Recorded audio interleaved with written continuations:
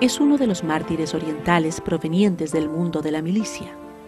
Fue capitán de soldados. Hizo honor a su nombre, adorador de Dios, con el testimonio de su sangre derramada. Ejerce el mando en tiempos del emperador Licinio.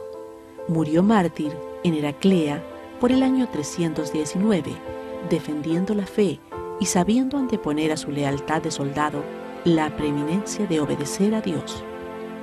En su vida resaltó su condición de hombre de fe en las caminatas que hacía el emperador visitando el imperio, revisando sus fuerzas militares y comprobando el estado de las posiciones. En cierta ocasión, lleva consigo a todas las imágenes idolátricas de los dioses romanos, las destruye para obtener el oro que las recubre y posteriormente donarlo a los pobres para que remedien sus miserias.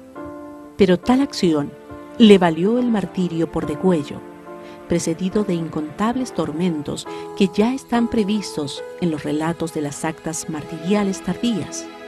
Sin embargo, muchas de sus heridas fueron sanadas por ángeles y la firmeza de su fe hasta el último momento de su vida fue instrumento de conversión de muchos testigos presenciales de su martirio.